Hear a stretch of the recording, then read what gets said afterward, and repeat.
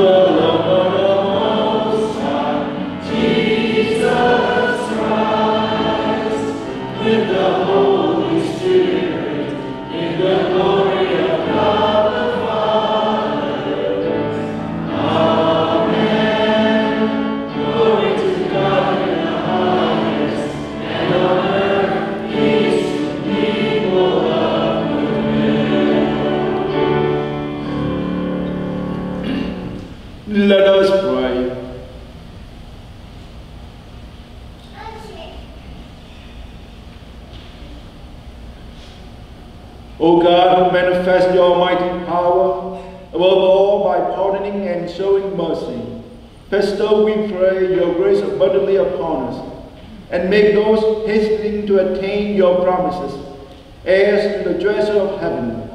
To our Lord Jesus Christ, your Son, who lives and reigns with you in the unity of the Holy Spirit, God forever and ever.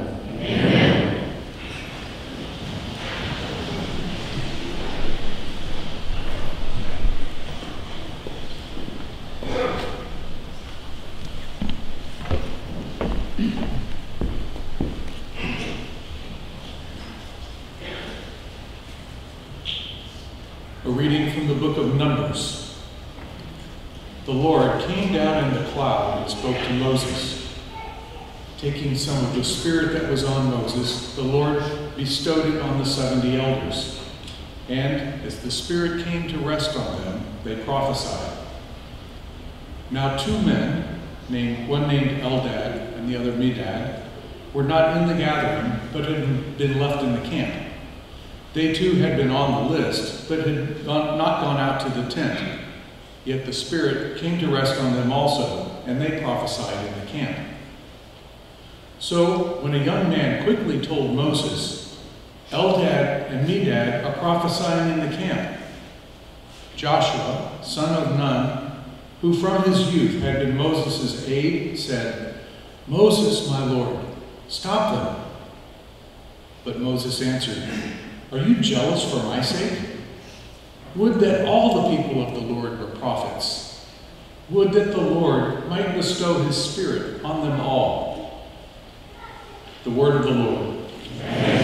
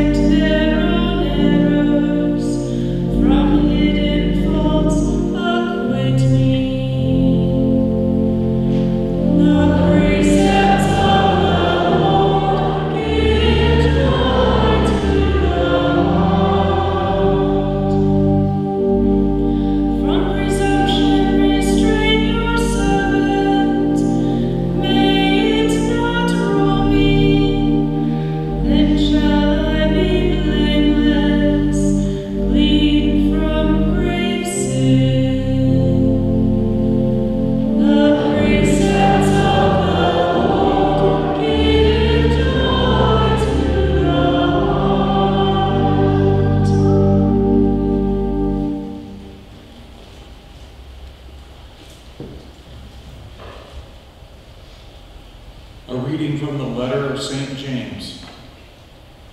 Come now, you rich, weep and wail over your impending miseries.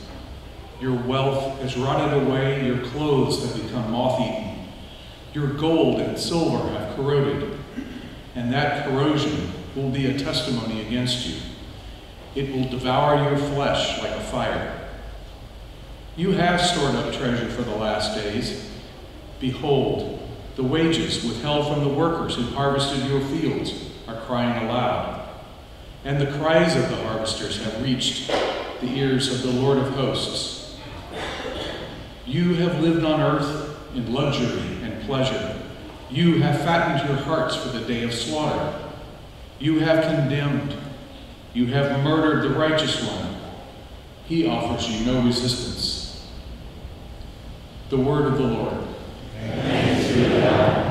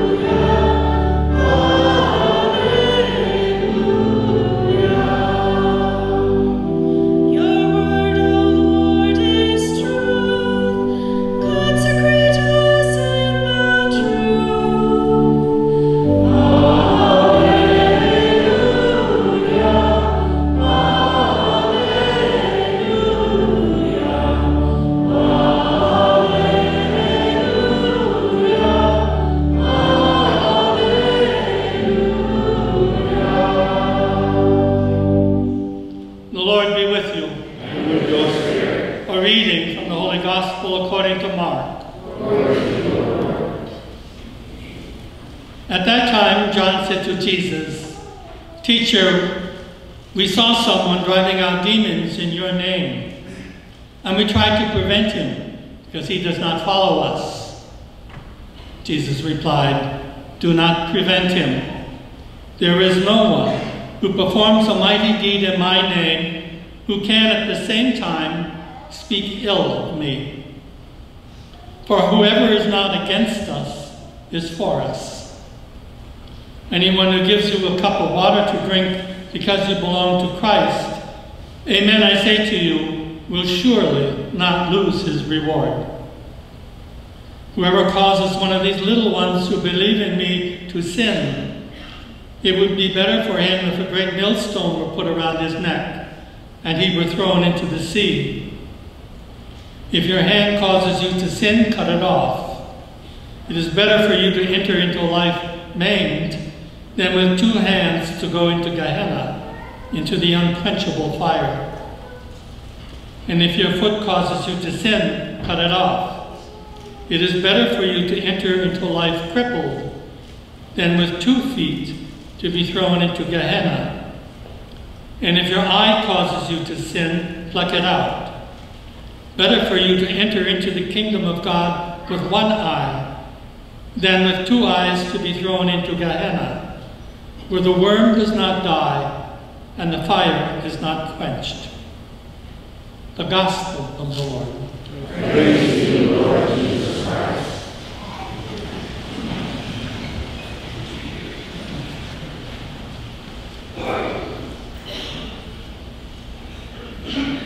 Well, a small child was sitting at the kitchen table one day with a piece of paper and a box of crayons, all busy drawing a picture.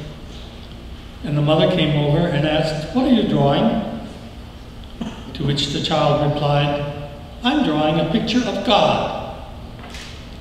But my dear, said the mother, nobody knows what God looks like. To which the child replied, Oh, but they will as soon as they see my picture. you know, all of us have some mental picture or image or concept or idea of God.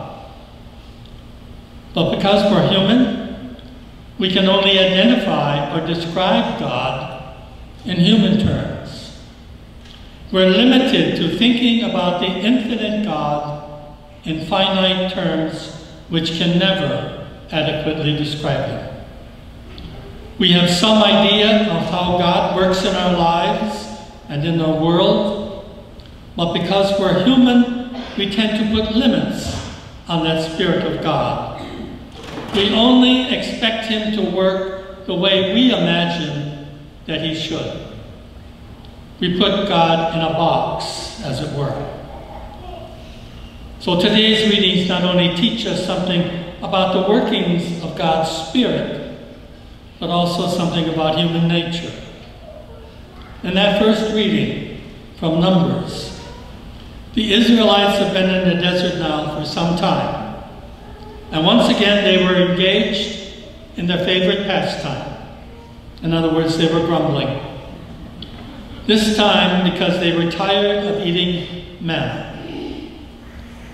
Moses becomes depressed. He's overcome with the magnitude of his job, trying to rule over an unruly people. And so he has a talk with God about his problems. And he learns that he does not have to bear the entire burden of leadership. God advises him to appoint 70 helpers.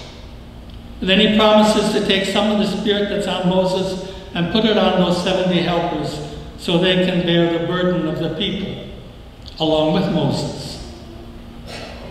For Joshua, however, the gift of God's Spirit was a threat because it did not conform to his expectations.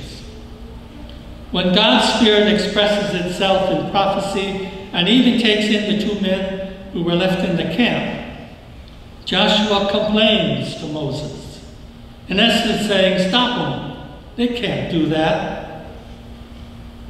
Moses, on the other hand, welcomes the sharing of God's Spirit and even wishes that God's prophetic spirit could be extended to all of God's people. Would that all the Lord's people were prophets, and that the Lord would put the Lord's Spirit on them. Those words of Moses to Joshua present us with two challenges. The first is to avoid the jealousy of Joshua and to rejoice in the spread of God's Spirit, even when it comes from outside of our own religious community. We are reminded that the Spirit of God is larger than our definition of it, that it goes beyond any boundaries we presume to put on it. And then the second challenge involves the fact that the ministries of this parish cannot be covered by two priests, two deacons, and a handful of staff working by themselves. We would soon be overwhelmed like Moses. Your involvement, all of you, your involvement in the ministries of this parish are not only welcomed, your involvement is essential to make this parish a vibrant Christian community. In our gospel selection from John today, the disciples also attempt to limit the action of God's Spirit because it does not conform to their expectations. The response of Jesus, like that of Moses, is open and tolerant of the many ways in which God's power may operate. And Jesus counsels his disciples not to include those who do acts of goodness in his name, but who do not define themselves as disciples, or who are not seen as disciples by the disciples themselves. Jesus suggests a wider, more inclusive community of people, people whose task is to make a difference. He is saying that there are those who work for the reign of God and those who work against it. For Jesus, the only important distinction is between those who live out the life of Jesus in mind, body, and spirit, and those who do not. Which I think reveals to us not only the mercy and love of divine nature, but the authentic dimensions of human nature. Now let us consider some situations in our world today. You know, we still have many demons around. They're at work in our world. We don't have to go very far to find them. They're in our homes, our neighborhoods, our communities, our schools, and even in our church. And we're confronted with them every day on the news. Let me name a few. Intolerance, racism, prejudice, hatred, a lack of respect and dignity for the sanctity of human life, especially preborn, physical and sexual abuse, addiction, corporate greed, hunger, poverty.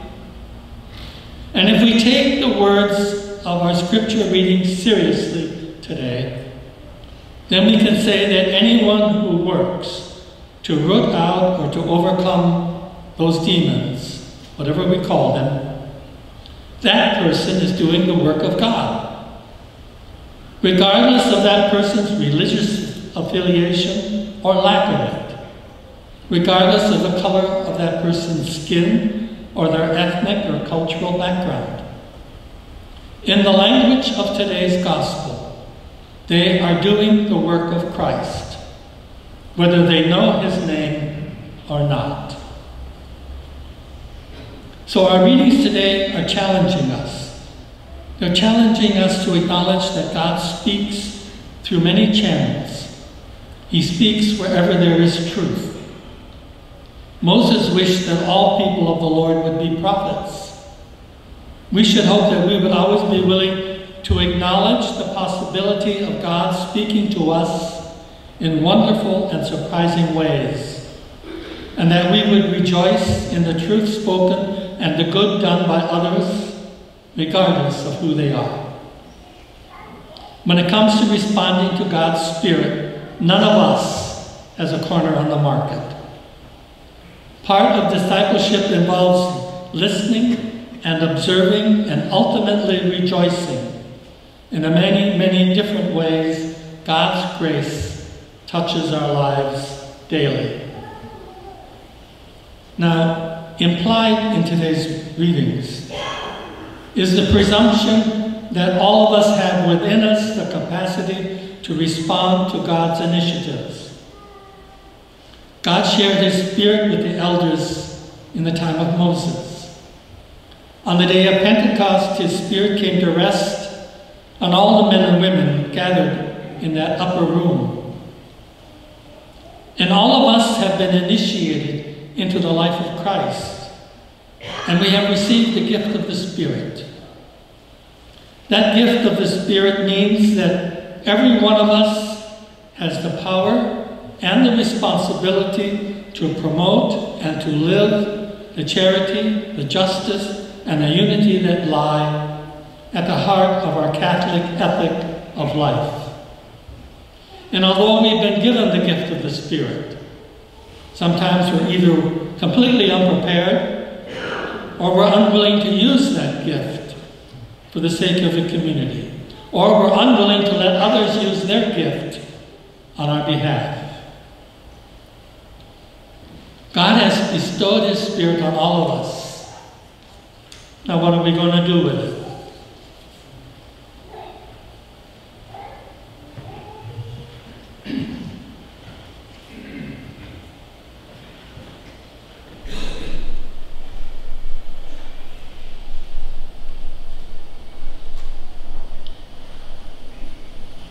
Now let's stand and confess our faith.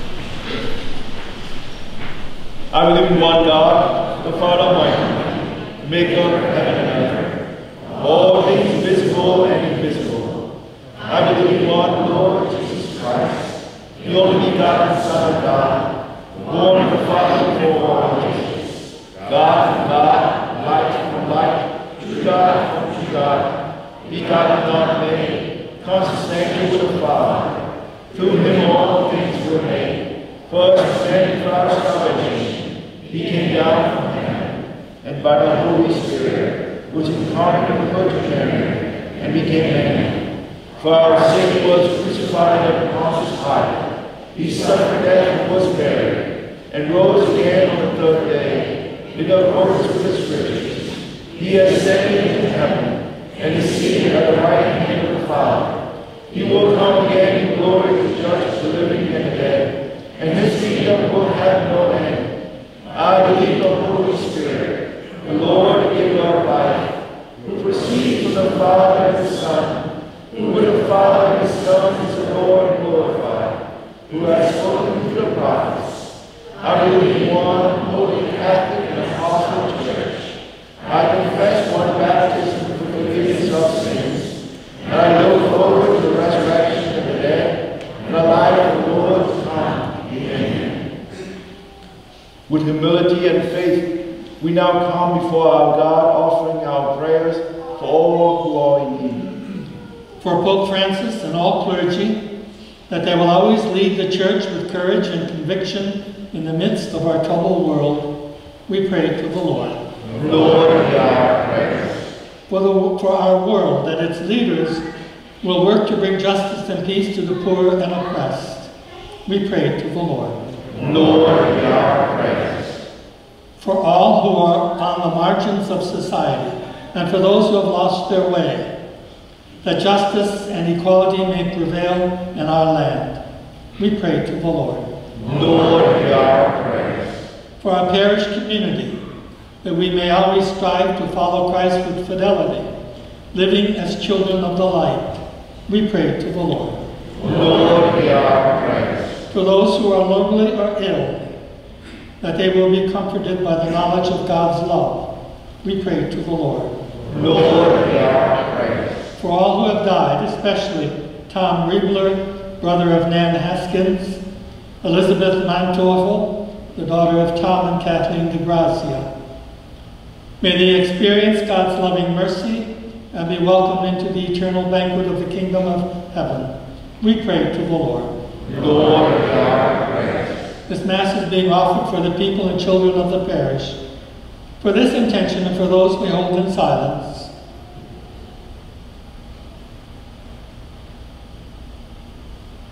We pray to the Lord. Lord our Christ.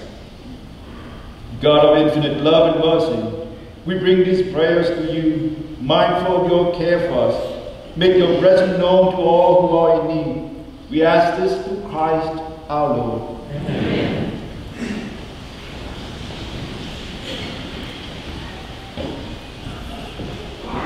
Please join in singing Your Words Are Spirit and Life.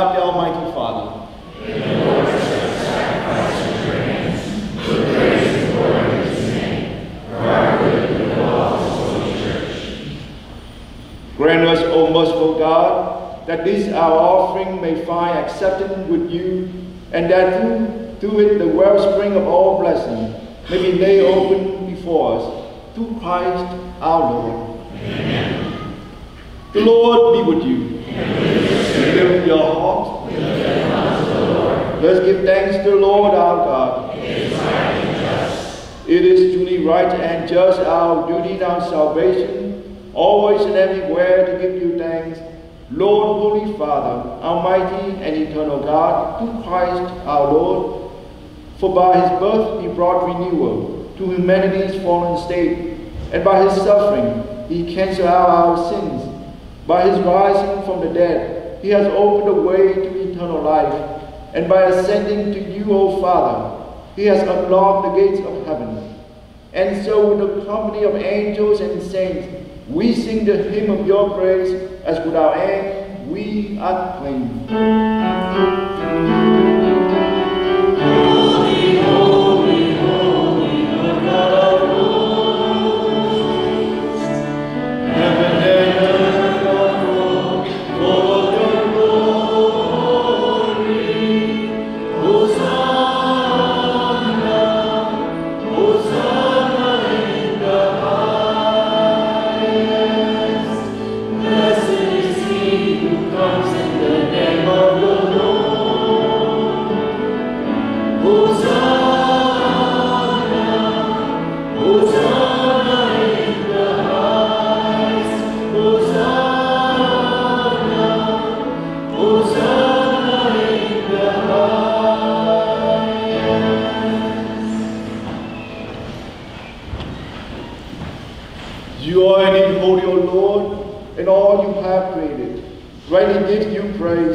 for through your Son, our Lord Jesus Christ, by the power and working of the Holy Spirit, you give life to all things and make them holy.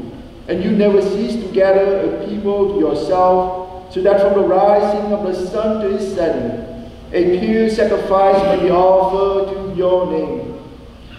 Therefore, O Lord, we humbly implore you, by the same Spirit, graciously make holy these gifts we have brought to you for consecration, that they may become the body and blood of our Lord Jesus Christ, at whose command we celebrate these mysteries.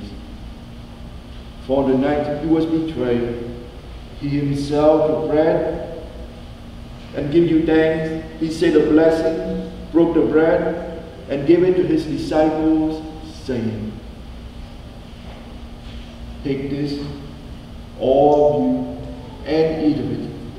For this is my body, which will be given up for you.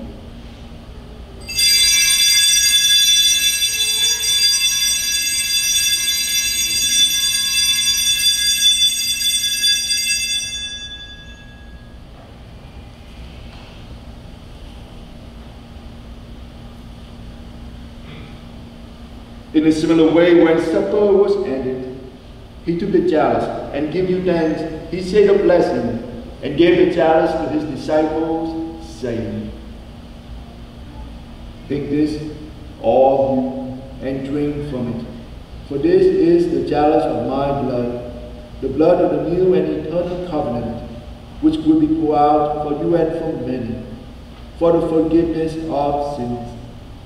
Do this in memory of me.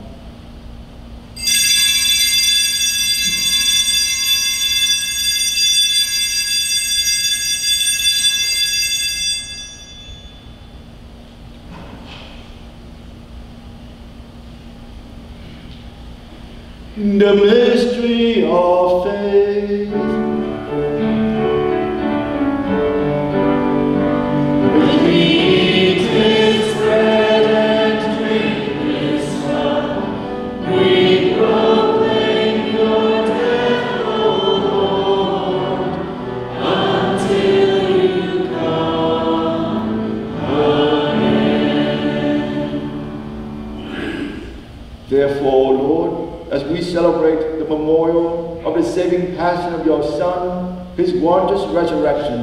and ascension into heaven, and as we look forward to his second coming, we offer you in thanksgiving this holy and living sacrifice.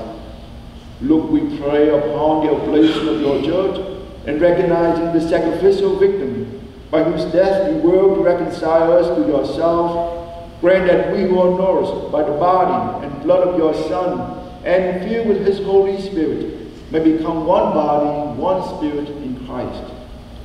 May he make of us an eternal offering to you so that we may obtain an inheritance with your elect, especially with the most blessed Virgin Mary, Mother of God, with blessed Joseph, her spouse, with your blessed apostles and glorious martyrs, and with all the saints on whose constant intercession in your presence we rely for unfailing help. With this sacrifice of our reconciliation, we pray, O Lord, advance the peace and salvation of all the world. Be pleased to confirm in faith and charity your pilgrim journey on earth with your servant Francis, our Pope, and Daniel, our Bishop, the order of bishops, all the clergy, and the entire people you have gained for your own. Listen graciously to the prayer of this family, whom you have summoned before you. In your compassion, O merciful Father, gather to yourself all your children scattered throughout the world, to our departed brothers and sisters, and to all who are pleasing to you at their passing from this life. Give kind admittance to your kingdom. There we hope to enjoy forever the fullness of your glory, through Christ our Lord, to whom you bestow on the world all that is good.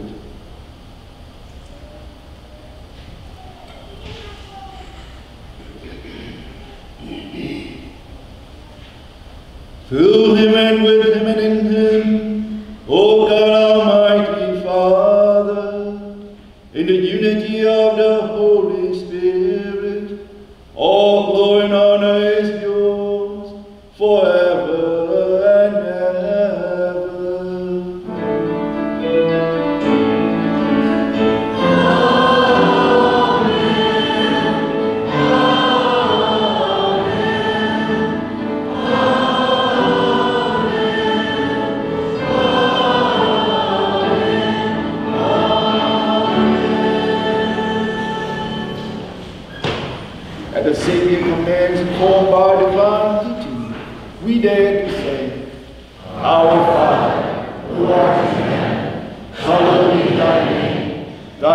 kingdom come, thy will be done, on earth as it is in heaven. Give us this day our daily bread, and forgive us our trespasses, as we forgive those who trespass against us.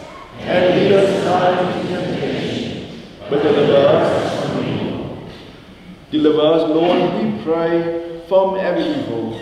Graciously grant peace in our days, that by the help of your mercy, we may be always free from sins and safe from all distress, as we await the blessed hope and the coming of our Savior, Jesus Christ.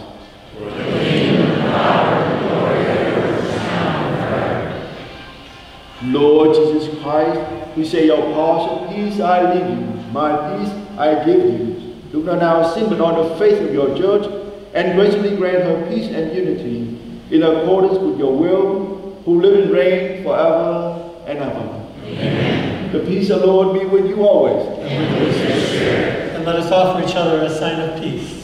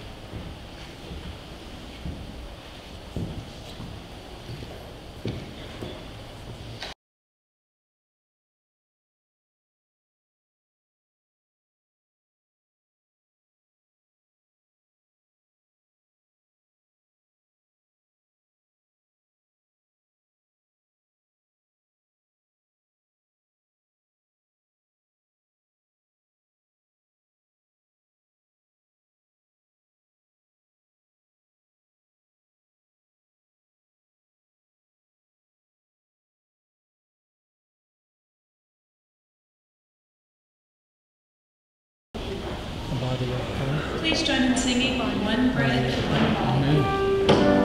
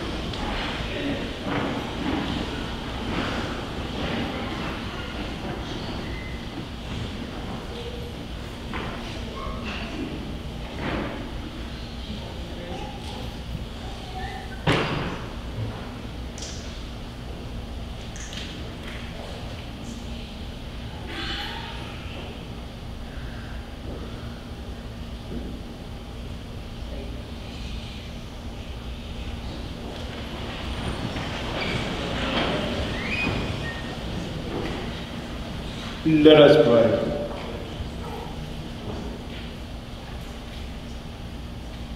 May this heavenly mystery, O Lord, restore us in mind and body, that we may be co-heirs in glory with Christ, to whose suffering we are united, whenever we proclaim his death, who lives and reigns forever and ever. Amen. Please be seated.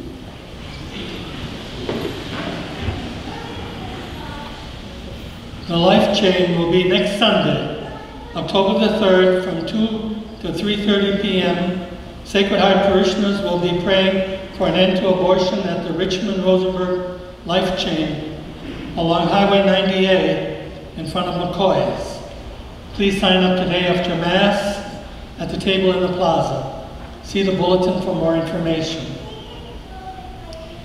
Wherever you are in your Catholic faith, Jesus wants to meet you right there and take you forward. Please join the men of the parish for one of the premier men's programs in the Catholic Church today. That man is you. It starts this coming Thursday, September the 30th, at 6 p.m. in the Family Life Center. Please stop by the table outside to sign up or ask questions about the program. Then Bazaar News, Raffle tickets and dinner tickets are also on sale this weekend. The cost of the meal is still only $10. Buy your ticket today and plan to enjoy a delicious meal on Sunday, October the 10th. Only 1,500 tickets will be sold. We still need items for the live auction and the silent auction, and we need gift cards in $10 amounts. Your donations are greatly appreciated. And then today is also Baby Bottle Boomerang Sunday, benefiting the Fort Bend Pregnancy Resource Medical Center. Please take a bottle home, put your donation in it, and return it to church next weekend. There will be bins located at the church entrances. Thank you. Please be seated, Deacon Don. Okay. My brothers and sisters, it's so good to see all of you. Are you able to see me? I'm short. I'm short over here. All right.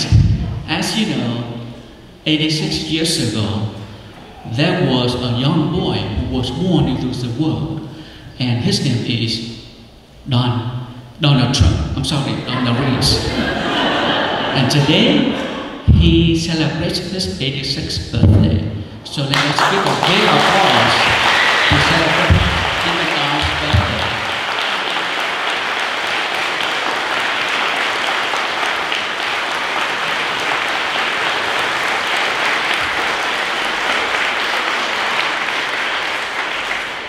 Actually, I, I want to say that he will be celebrating his 87th birthday because we had to add nine months in his mother's womb, right? And today, thank you, and today his uh, granddaughter who comes from Midville will have a gifts for Deacon Don. So please uh, come and receive the gifts from your granddaughter who comes from Meekville.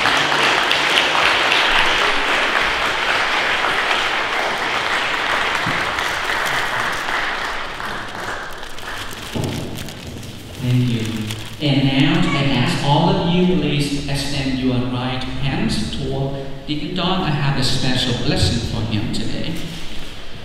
God of all creation, we offer you grateful praise for the gifts of life.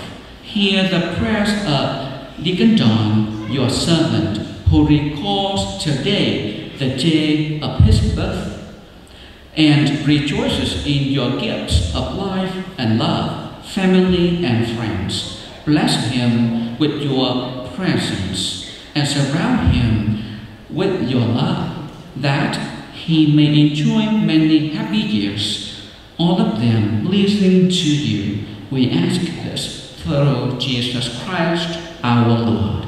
Amen. Thank you so much. One more time.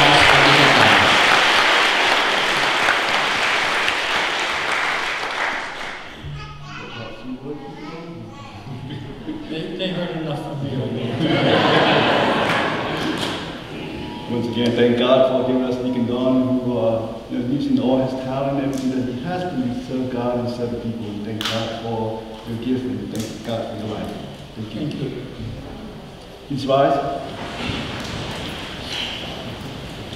The Lord be with you. And with your spirit. May Almighty God bless you, the Father, and the Son, and the Holy Spirit. Amen. Go in peace, glorifying the Lord by your life. Thanks be God.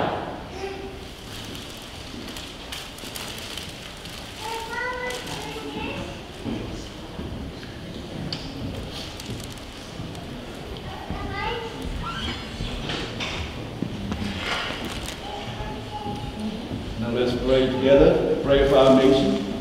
God our Father, give us life. We entrust the United States of America to your loving care. You are the rock on which this nation was founded. You alone which restores our cherished rights of life, liberty, and the pursuit of happiness. We claim this land for your glory and for all your people. Send your spirit to touch the hearts of the nation's leaders. Open their minds to bring the word of human life and responsibilities that